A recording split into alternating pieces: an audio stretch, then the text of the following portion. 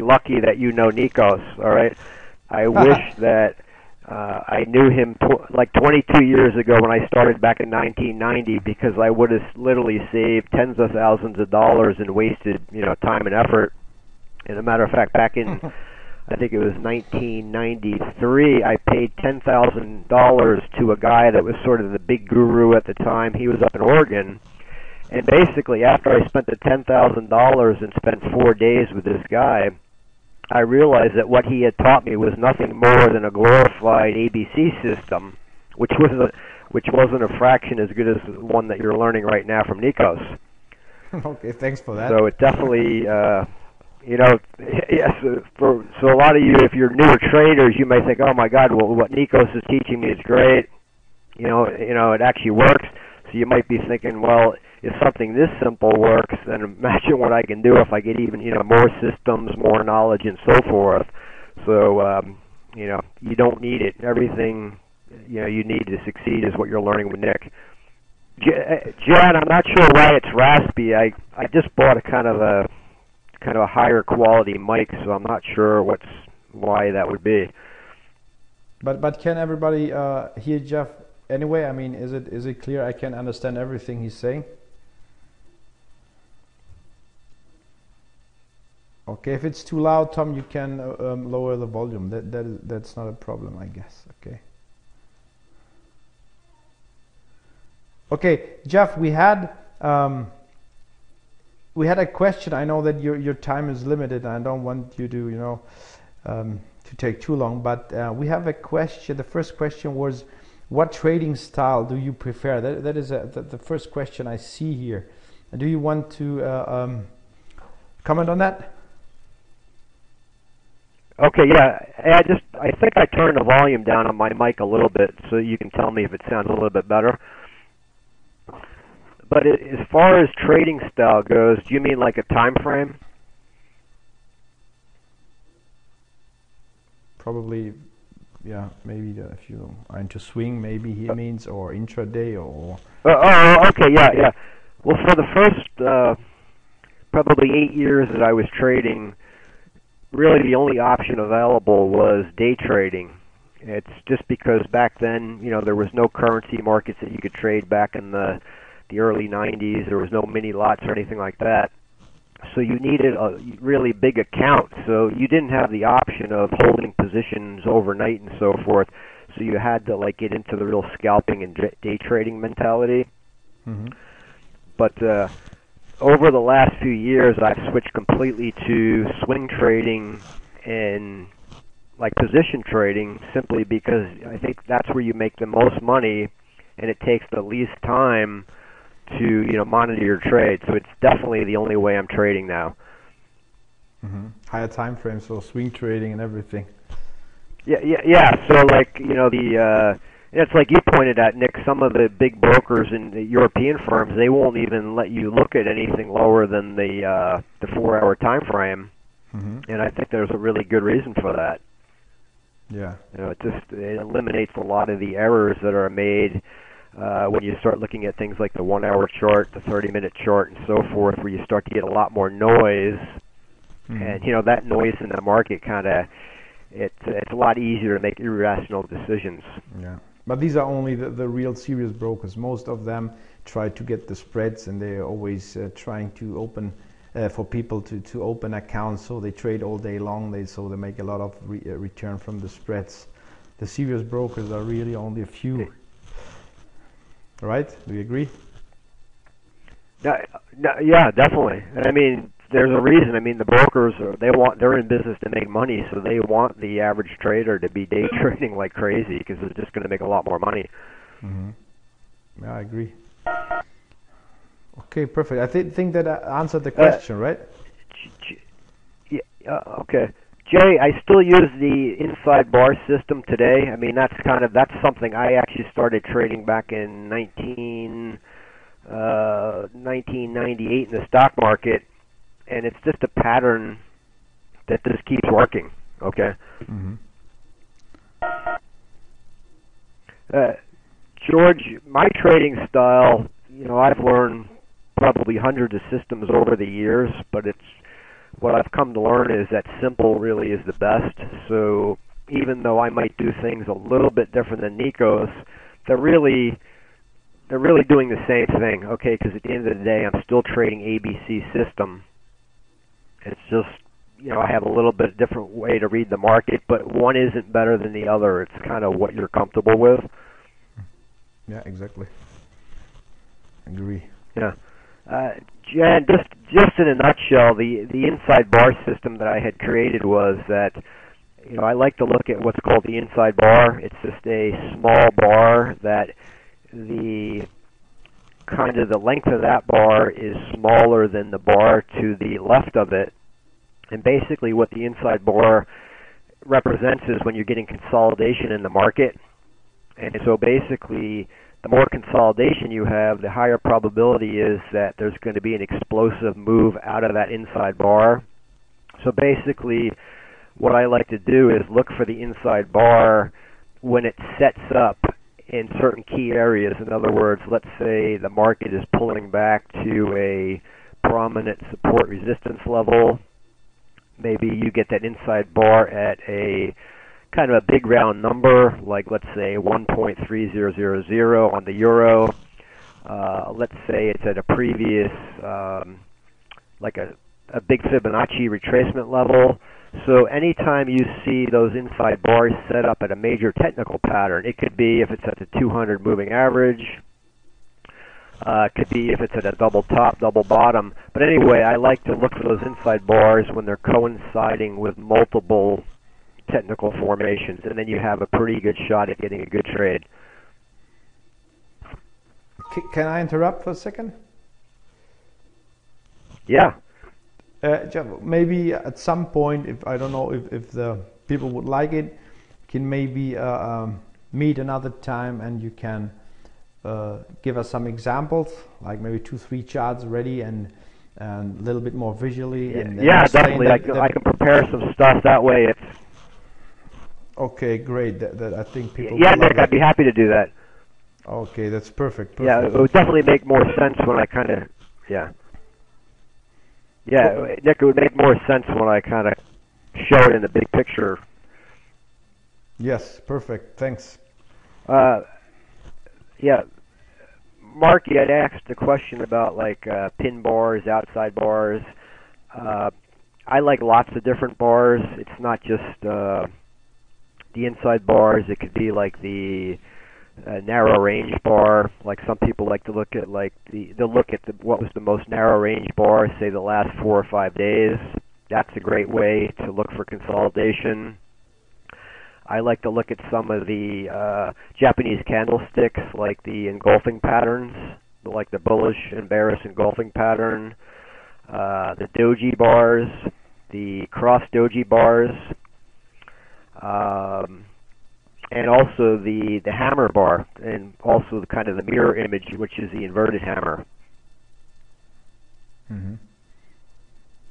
It, basically, too, as far as the bars go, there's not one bar. I think it's just kind of like you want to ha- you want to learn as many of them as you can, and then over time you just get to recognize them, and then you can kind of you know it just adds to your knowledge base. Yes, I agree. Okay. Uh, okay, George. Uh, you had mentioned, uh, you know, what was my biggest fear when I started trading, and uh, well, this was keep in mind this was back in 1990, long before there was an internet, and back then. Uh, there was no forex market like we have today. The only way you could participate in trading the currencies was through the uh, the currency futures markets and uh, you know back then it was like one tick or one smallest price of pi- uh, price movement was twelve dollars and fifty cents. so anyway, uh, back then what you had to do was you couldn't just go on the internet and place your trade anonymously. You had to actually call like pick up the telephone, dial your broker, and tell them. You know, you have to say like, okay, I want to buy you know one contract of the uh, Japanese yen, and what so keep in mind that uh, it was a lot of money for me to risk back then. You didn't have mini lots or micro lots to practice with. So anyway, one of the biggest fears was I, I was so afraid to make the wrong decision, and then I was afraid to lose money. But what was really freaking me out was that I'd sit there really stressing out whether I was making the right decision as far as my analysis goes. And so by time I would identify a trade, I knew that I would have to pick up the telephone to call my broker. And what was kind of, I can laugh about it now, was that the minute I'd start to pick up the phone, my hand would start shaking. Okay, I Oh, could barely speak the order into the phone because I was so afraid to commit that order because it wasn't, you know, it was a big process back then. It was it was costly to put your trades in, I remember and that. you know, Even I remember. the broker would take your order, he'd repeat it back to you, then he'd have to call down to the floor, and then they'd have to confirm the trade. So it wasn't like you know you could click the button to get out if you felt nervous or unsure. So there was a big, big fear process of just you know committing to that trade. And actually, I also started trading the S&P futures markets, which were five times more costly back then. The minimum uh, uh, price movement was fifty dollars. Okay, so you were any given trade risking about five hundred dollars. So it was so bad as far as my fear of picking up the phone that I got to the point where I literally could no longer pick up the phone. I was so scared. And so I had to get my wife to team up with me. I would do the analysis and she would pick up the phone and call in the order and it's the only way I could get around, you know, Wow. that kind of pressure, but it was just so stressful. I mean, you back then you could lose $500 in a heartbeat. Yeah, that's true. You see, we have a big advantage Uh, now.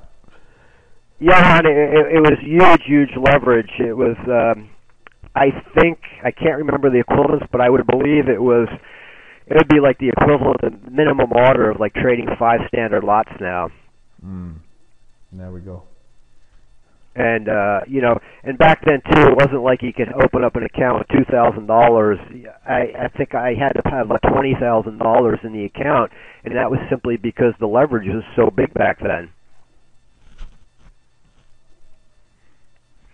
Uh, George, you, you had asked what the advantages to trading currency futures are. Uh, in my opinion, I think that the currency futures are a little bit more transparent and regulated. In other words, you, you trade them on the Chicago Mercantile Exchange, and it's so it's very transparent. Whereas a lot of these forex brokers, you don't know where they're going to where they're located. They can be offshore. Each broker kind of has their own uh, way they process orders, and you never really know what's going on. So you never know if you're getting an accurate fill. Uh, you never really know if the market's trading where they say it's trading. So every broker is going to be different. Whereas the currency futures, it's it's very consistent.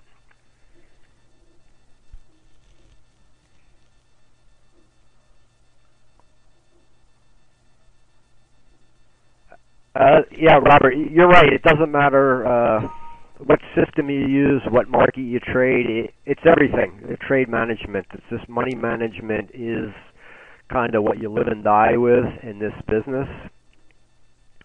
And uh, I just wanted to share a quick story about a guy. He's a good friend of mine, and he lost over the last uh, kind of ten years like a million dollars trading.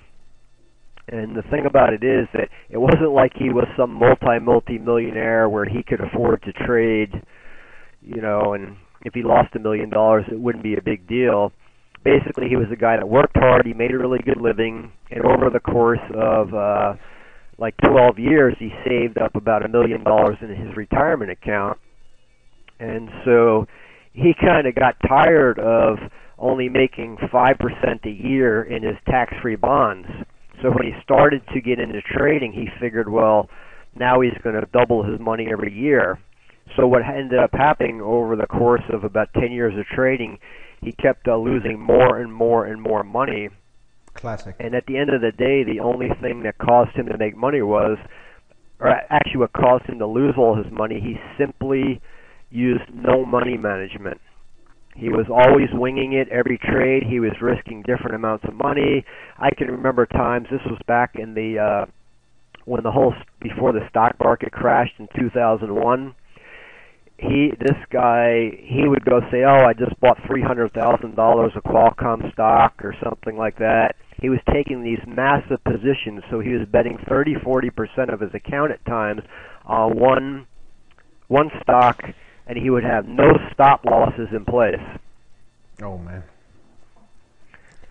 yeah, yeah it was crazy so the so the thing about it is that we look back at all his trades and uh, I told him that if he had simply used a stop loss, he would at least broken even versus losing the million dollars. Yeah, exactly. We have some some uh, um, funny uh, uh, comments here. No, I I didn't have a million to lose. yeah, yeah, yeah. I didn't have a million to lose, so no, I didn't lose that much. Yeah, yeah. Hey, you know, this is the interesting thing about it, and this is where like greed really comes into trading. It's it's it's really dangerous. Uh, my friend Joe that I've been talking about, he had a uh, a Ferrari, and that was kind of his pride and joy. And when the newer Ferrari came out, he thought, "Oh, I'm I'm going to sell my Ferrari. I'm going to go uh, place a couple trades, I'm going to make all my money back, like 100% return, and then I'm going to go buy the new Ferrari. well, he ended up blowing all that money he sold his Ferrari for in about a month. So now today he's got no Ferrari. Oh man. You know, he he he you know, he can't even remote he can't even, you know, trouble buying an average car now. So you know, but once again, it all comes back to greed. He just got really greedy, and he made the kind of the cardinal mistake, which is to focus more on what he was going to make versus what what the potential to lose was. Yes. Okay. Uh, Hutch had mentioned that do I take uh, enter textbook trades 30 to 60 minutes after uh, yeah, I, I think 30 to 60 minutes is more than enough. Usually, uh, I don't want to be in. You know, I'll I'll close positions out like 15 minutes before the news, and I think uh, after 30 minutes, the market's going to process it whatever way it's going to do. So I think uh, as long as uh, let's say that you have a, a uh, particular price point you want to get in at, as long as uh, the news didn't blow way past your entry, then you could still look to get in.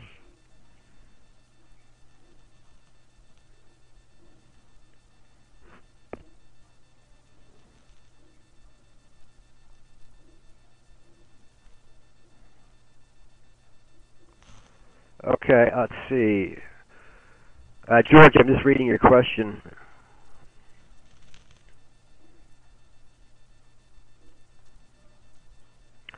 Yeah, I think it. Uh, I think it cha- it changes people. Uh, one of my mentors, he told me, he said, Jeff, he said, uh, you you quickly learn within minutes everything there is to know about yourself when you start trading.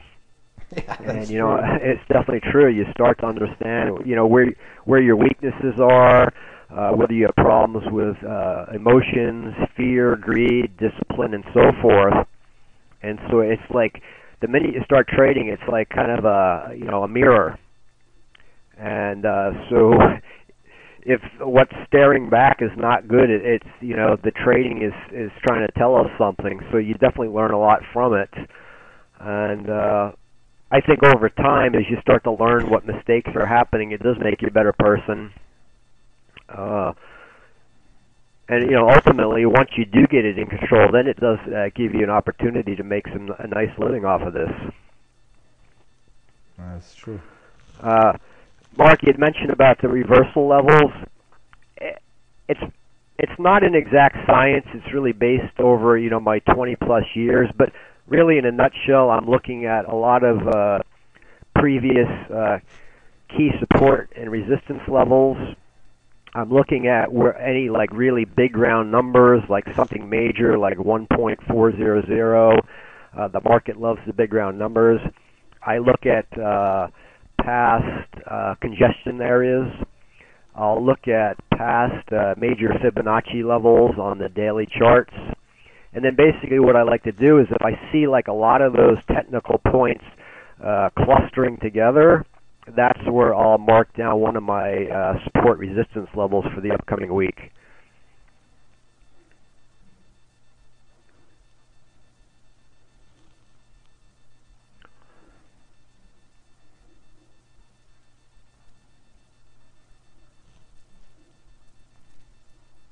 Okay, did, did you read the? Nick, did you have some questions you wanted to ask, or uh, something, some things you wanted to chat about?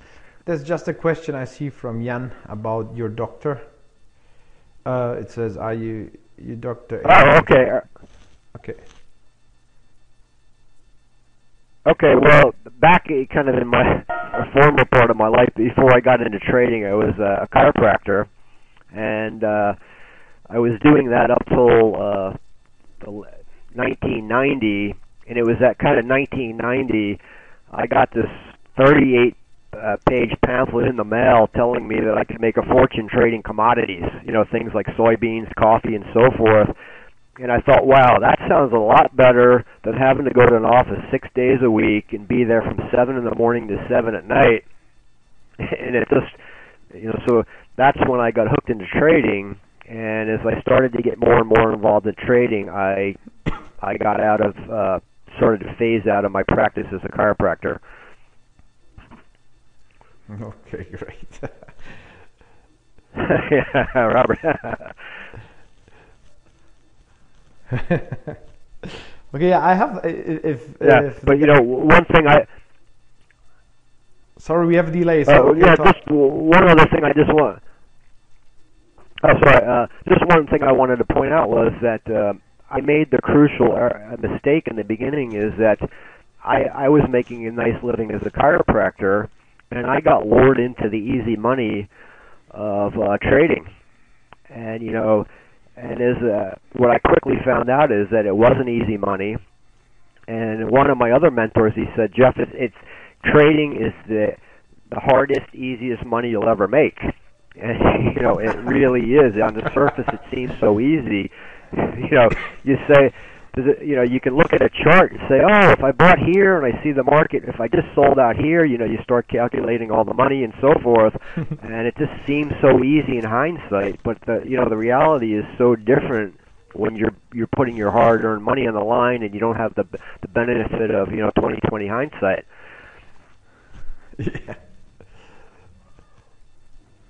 You know, so I, I one thing I just wanted to talk about really quickly is I think that when anybody gets into trading, you know, I think that people initially get into it because they heard about the easy money that they can make.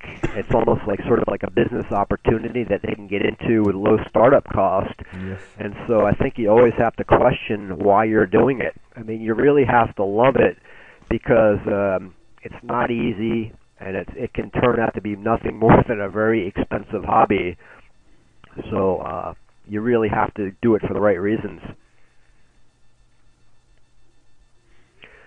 Hey, Dave. Um, a couple of reasons. You know, it makes you a better trader when you start to teach people uh, what you know. It really reinforces what you know and what you think you know, and it also keeps you on your toes. All right, like you have to kind of be accountable, and you're, you got to always try to be learning more and more so that you can give good advice to people.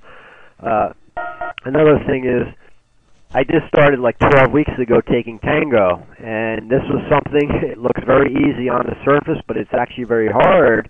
and my teacher, very early on, they said, if you want to get good at Tango, once you know one step, become a teacher and teach the person that one step you know. And they said if that person's new, you'll be teaching them something new. And they said when you learn two steps, teach them the new step.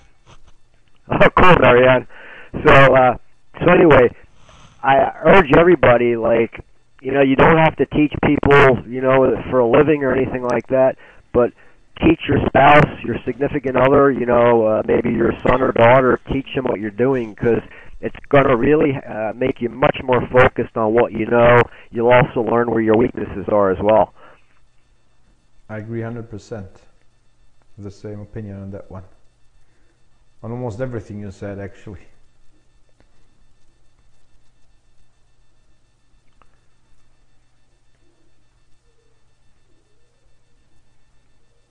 Okay, other questions?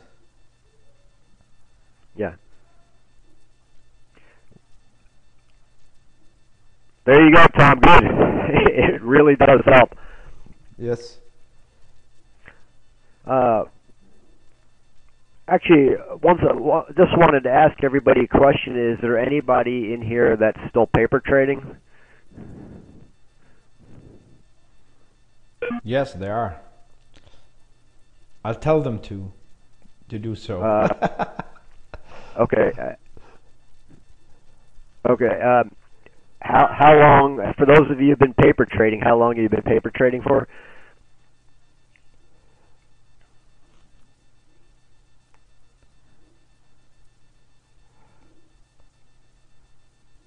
Uh, okay, that's cool. The only reason I, I ask that is that like uh, because I've been teaching people since 2003, I've I've literally run into uh, people that have been you know paper trading for like three four years, and you know it's kind of like what I had learned is you know some people are so fearful of uh, that they don't know enough or they're so scared that they're going to lose money that they can never really uh, kind of get over that fear of pulling the trigger and jumping in.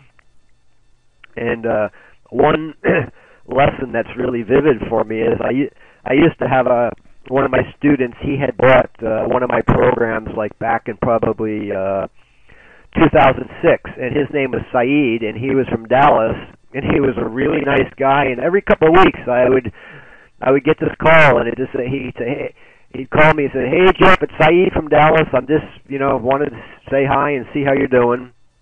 And so he had called me, you know, like this for four years, and we always had the same conversation. He had never actually jumped in and took a real money trade. And you know, once again, it was because of the fear he was having and the uncertainty. He just couldn't get over that kind of uh, that hurdle. And so, uh, one day, I I got an email and I heard that Saeed passed away. And so it really got me bummed out because, you know, all these years he was just dreaming about trading and making some nice money from it. So there he was, he kept putting it off, putting it off, and he just never got an opportunity to do that. So I, you know, I always think of that guy when, Oh, wow. you know, I'm talking to people and they're having pull, trouble, you know, getting into trades. You know, so you know, as they say, life is kind of short. So you, at some point, you just have to commit and you know, jump in. Yes, that's that's true, man. It's really a good example.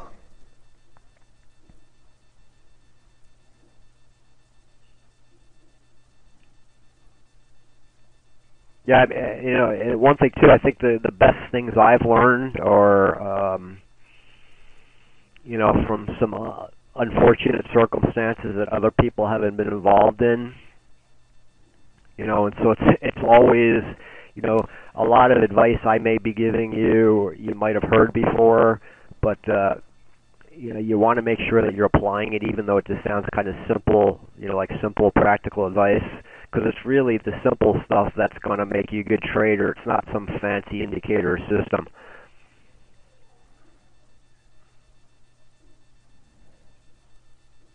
Okay, great. Um, can, can you hear me, Je- Jeff?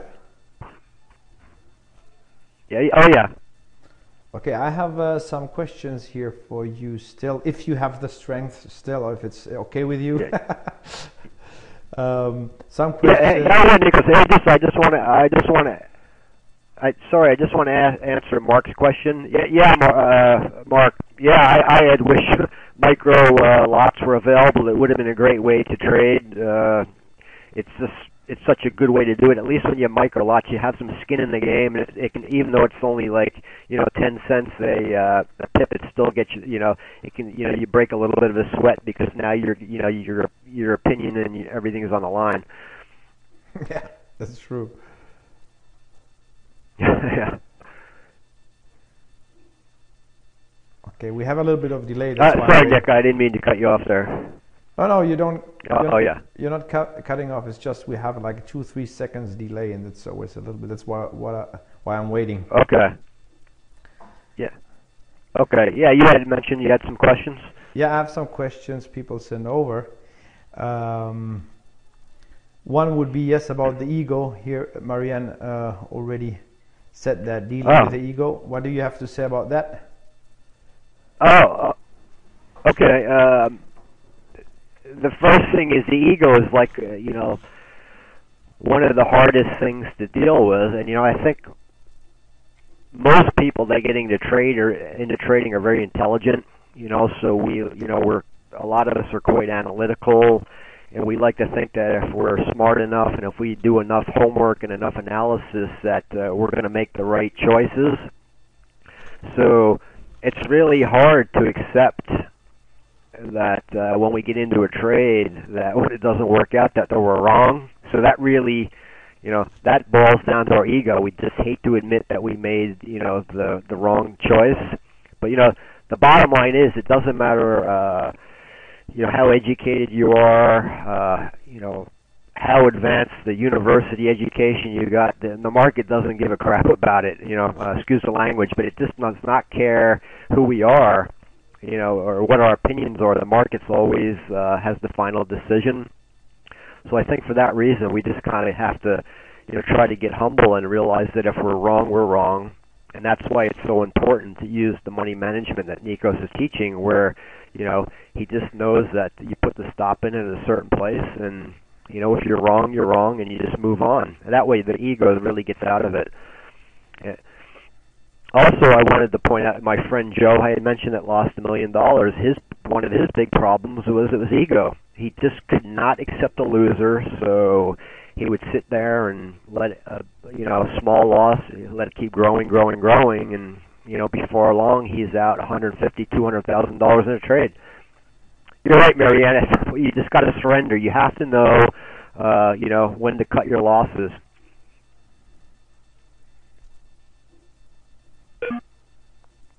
Yeah, yeah, connection. It's all about managing risk. I mean, you you know, it's uh, you can truly have a, just an average system, and if you manage your risk properly, you're still going to make some money. I've seen people uh, you know, to give you an example, like as some of you know, I I, I have my own trading systems that I teach, and I've had you know situations where one person will make a lot of money, like a six-figure income in a year, and another person will tell me it's crap, or and then I'll have like uh, people in all, you know, for making you know a couple hundred dollars to a few thousand dollars, but it it's really boils down to how they manage the system that they're using.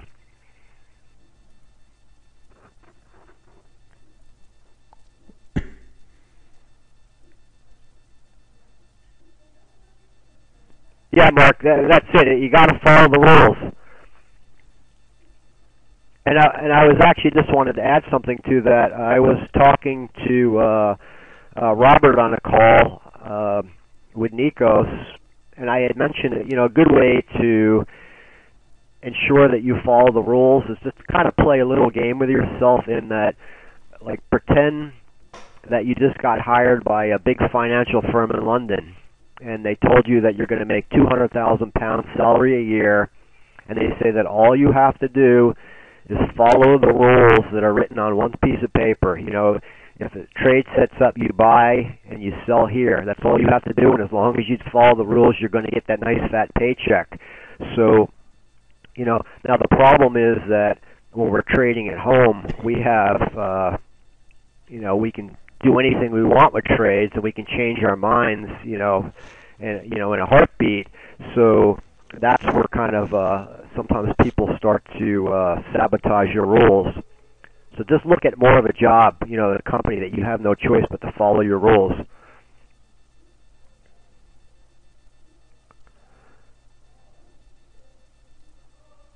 Yeah, it's a good one. It's a very good example.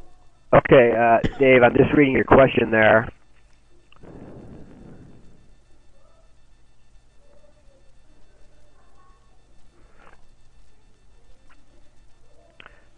Dave, that, you know that's a good question. I think it, it really depends on the individual. I mean, I've you know keep in mind just for myself, um, it took me about five years to start making money on a regular basis. I mean, I had like kind of uh, sort of fl- flashes of brilliance that would quickly disappear. You know, uh, before that five years, I wasn't consistent. And then uh, I've worked with traders, some of them that haven't been profitable for their first like six years, and then they start working with me, and you know they start to they start to actually get a break even week, which may not seem like a big deal, but it was a big deal, and then they start slowly going up. So, um, you know, as long as you have the enthusiasm and the motivation, and uh, you know, it's not a situation where maybe you're risking your rent money or the ability to feed your family, then you know. Uh, it's never too late to turn it around.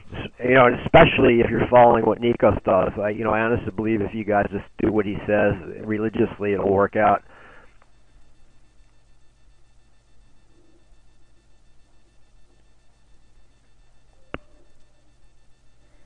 Jeff, uh, uh, just a question in between. Uh, now that we have a little bit of silence, um, there's a question about okay. your, your, favorite market. Do you have any favorite uh, markets, or did we already answer it? I don't. I don't think so. Uh, do you have any uh, favorite? No, we didn't. I mean, you know, it's yeah. Actually, I don't. Okay, it's uh, whatever money I can make, uh, whatever market I can make money, and I, I'm happy, you know. And it's just uh, a lot of times I'll choose a market simply because it fits uh, what I'm into at the time, or my lifestyle, or how much time. Like for instance, now uh, I'm doing a lot of stock trading simply because stocks are something I can relate to. You know, you can research about the companies, and you can still do all your technical analysis and at the same time, because I don't want to spend a lot of time glued to the computer, you know, I can put on my trades, and uh, you know, a lot of my positions I only look at once a week. I've had some trades on since 2007, but you know, uh, it's great. I never think about them at night, and I've just got kind of got this long-term plan. So uh, I love stocks. I love the the versatility in the forex market. You know, I like that you can trade you know 24/7. You know, the only thing I don't like about that is there's the temptation to always feel like you're missing something. You know, you're worried about what's happening in the middle of the night. you know, so I had to wean myself away from that. And the easiest way to do that is to only look at the four-hour or uh, higher time frame, so that you you don't feel like you always have to be looking at things. Uh, another market I like is stock options it's just kind of you know you get a lot of leverage and you know your risk. You know you yes. can kind of really limit your downside. Uh, I also like the uh, the mini futures contracts, like the S and P 500 and the Dow. That's a lot of fun too. That's something that I really you know kind of grew up on, so it's kind of uh, mm-hmm. one of my favorites. Mm, are you trading metals? Do you and like then um, also also I I've dabbled it just a little bit way back in the uh when I was learning the commodity trade back in the 1990s, but I haven't done anything with them in a while, a long time actually. Okay. Uh one other thing that I'm looking into is something that I ha- hadn't heard about from until about a couple weeks ago. They're called 1086, and it's these companies that uh, they basically it's kind of you can buy them like a stock, and these companies sort of it's the infrastructure of oil, like in the U.S. So in other words, it's not you're not really speculating on oil, but it's the infrastructure like the pipelines and stuff like that. Mm-hmm. And uh, these companies typically pay, uh, I think, at least five to twelve percent uh, dividend a year. Wow. So it's kind of like a very low low risk play. It's something great for like a retirement fund. You can put them in your retirement accounts, and they've been pl- paying. Some of them have been, I think, if you compounded, been averaging near 30% a year for the last 12 years. So it's something that I'm looking into because I just buy it and just keep it in my uh, retirement account. Is it guaranteed, or is it uh, what you're talking right now? the profits? Well, well, it's I know that these companies have like a they've never defaulted on their rates.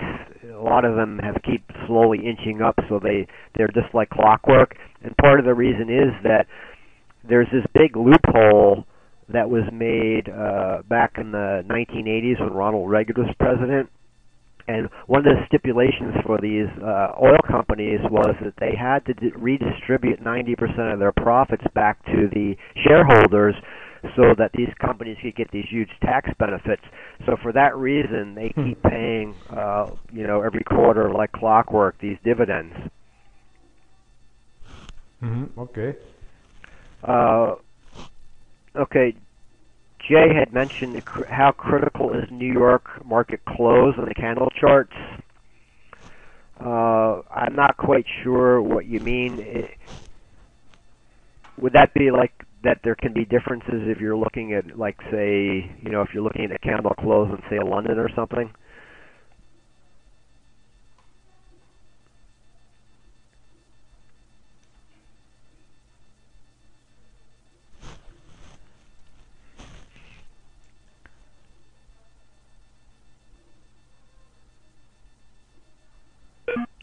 Oh, uh, okay, Jay, I got you.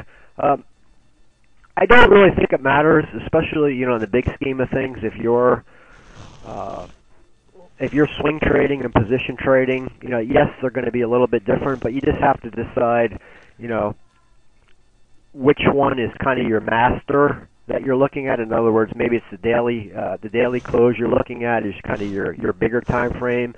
But then if you're going to enter in on your four hour, then I would put more energy into that as far as where that closes. Okay, great. Uh, Jeff, I have uh, another interesting, probably uh, two other questions, and then I'll really um, we leave you alone. Yeah, sure. Okay. um, oh, no, no, no worries. I, am happy to help. okay, perfect. Um, the, I have one here that says, "What was the biggest mistake you ever made when trading, and what was your biggest success?" So, like the worst and the best part. Could you could you? Uh, oh, okay. Well. Okay. One, one of my biggest successes and mistakes all rolled in one was uh, back in 19, I think it was 98. I had become aware of a company called uh, GTMI. I think it was it was a Philippine uh, telecommunications company, and at the time the shares were selling at like 12 cents. So I I think I bought I can't remember 100,000, 150,000 shares, so it wasn't really a lot of money. So anyway over the next couple of years, as the stock market, you know, was going into that bubble phase, the stock was up at like three hundred, uh, sorry, three dollars and fifty cents. So I had, I go into my um, my brokerage account, and I had like it was. Well, keep in mind, I had only invested like I don't know, fifteen thousand dollars or something. So I would start going in my brokerage account and see that now I'm I have over two hundred thousand dollars in there. There we go. And so this was by far this was by far it just blew me away. I would have days where I would be up ten thousand dollars because the mark you know, you don't need a lot of a lot of movement when you got that many shares to make a lot of money and I was just so I could not believe this was happening. But now here's so that was my biggest uh, success to the point and so but because the stock market hadn't collapsed yet I started uh, talking myself into things. I reasoned that okay, well, this is a new tele uh, telecommunications company. It's only at 350, and I'd say, well, look at this uh, company. They're valued hundred dollars, and I'd start saying, surely I can get to a you know a meager ten dollars or twenty. so I got so focused on what I was going to make. My greed glands were just, oh, you know, I was going to buy a private island. I had it all the figured out. and yeah, yeah, it's exactly it. So, and I didn't have a stop in place because I thought, wow, okay, nobody can touch me, right? I'm just so far in the money, it's ridiculous. Well, the the stock market, the bubble started to burst, and the stock started to roll over, and then it started to come down there three dollars, and I think, oh, you know, it's still going to go to 20. I got so much breathing room. Don't worry about it. Well, I became so uh, paralyzed that the fact that eventually it was starting to get 250, and I said, "Nah, don't worry." This, this, because of course at the time you didn't know it was a bubble, right? You thought everything was going to start resuming. I thought, "Oh, okay, now it's a 50% retracement. No worries, it's going to resume." So to make a long story short, I ended up basically letting that stock dwindle down to nothing. So I, I wrote a you know, twelve or fifteen thousand dollar investment to a quarter million dollars almost, and let it go back to zero. So that to me was just I was total ass. I mean, it total total total criminal, stupidest thing ever to do. So um, I can't say it enough. Don't fall in love with whatever you're trading, and I don't care if it's stock or a currency. Yeah, that that, that was a good one. yeah. oh man. yeah. Yeah, so I mean, it's just don't fall in love with anything. You know, don't be married to your position, and it Yeah. it comes back into what Marianne was talking about. It's like ego. You know, I didn't want to be wrong. I thought I had the whole. uh I did my homework on the that that sector, and I thought there was so much upside. Yeah. I know. What you know, so about. so now though, um, you know, one of my one of my uh the biggest trades that I'm in currently, I've been in it for uh like 5 years now almost is I've been in a company called Sirius Sirius Radio and I've been collecting shares since it's at uh like 50 cents and now I think well yesterday it closed at 308 so I've got a lot of shares and I'm up, I'm up a lot of money but at least now I have more of a plan you know, an escape plan, stuff like that, so I don't make the same mistake I did again. Yeah, that's great. Yeah, that's, that's all about you know learning from the mistakes, like always. Yeah, and, you know, it's really painful. And you know, the thing about it is, you have to. The problem with trading is that when your when your money is in your account uh, and you haven't cash closed out the position, it's just it's like play money. It doesn't mean anything. So you have to start thinking about what does that open profit mean. And for me, I look back. I had ever since I was a kid in school, I wanted a Lamborghini. And to think now that I could have paid cash for that Lamborghini if I had closed out that trade, but I never really thought about what that money was. It wasn't play money. It could have bought a house. It could have bought the car or whatever. Um, so you really have to think about when you do have a big winning and trade on hand, uh, what what that uh, could do for you. Yeah, that's why it's so important that you take And, incremental. and just one other quick. Yeah, sorry. Yeah, yeah, no, no, you're, you're right, Nick. And I was going to say that it is important too that you've got to take the profits, and also though uh, a mistake that a lot of people make, and I, I used to make this a lot, is that uh, the minute I get in a trade, I'm up like you know fifty, hundred dollars, and I'm getting all excited, and I am thinking about what that fifty, hundred dollars means, and then I'd say, ooh, maybe I better hold on. That's decent money. I could, you know, do something fun with it, and so that thought would keep me from, you know, applying proper money management, was, which was just to let the trade breathe properly. Okay, great. There's a question from Robert. Do you see that? Uh, oh, let's see. Any persistent bad habits now? Um, I think, Robert, it would be that I always have to uh, rein myself in. In other words, it's always it's always uh, tempting. In other words, you know, let's say you're trading the currencies. Well, you're wondering, well, what stock market trades am I missing? And then you're thinking, oh, you know, like, uh, what am I missing in some other field, and so forth. So, for me, it's always having to uh, keep uh, refocusing myself and not be tempted. You know, it's the, the problem with trading is it's easy to get you know uh, distracted by all kinds of uh, bright, shiny objects. You know, whether it's more markets or other trading systems, other strategies, other people's opinions. So for me, it's just that I always have to keep pulling myself back, uh, doing things one way, and make sure that I don't start changing the rules and start playing around with lots of other time frames and so forth. Yeah, very important.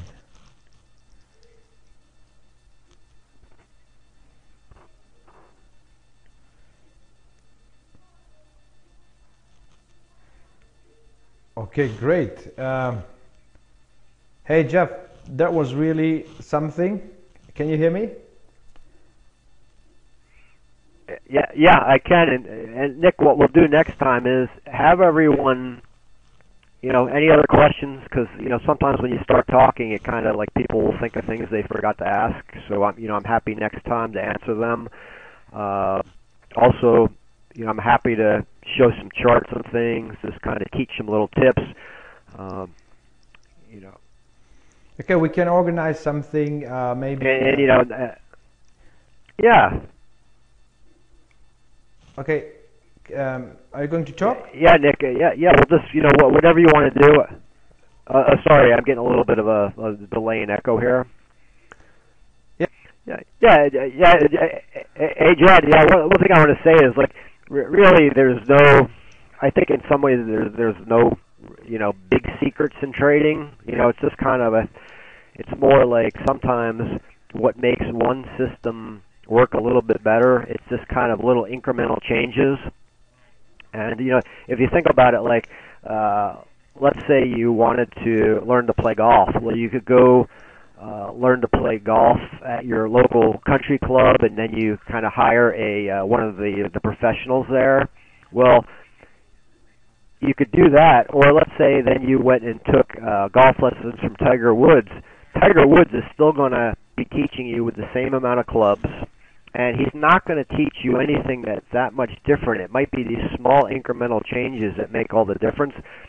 And so I think that's really what sort of the secrets in trading are, just small little ways to uh, look at the market, and that's really what Nick is so good at. He just, you know, he's looking at things that a lot of other people have been staring at, but he's just kind of pieced them together in a really great structure. Yeah, yeah, Jen. Yeah, the biggest secret is there is no secret. You know, it's just it's just applying stuff. And a lot of times, though, it's like it takes people.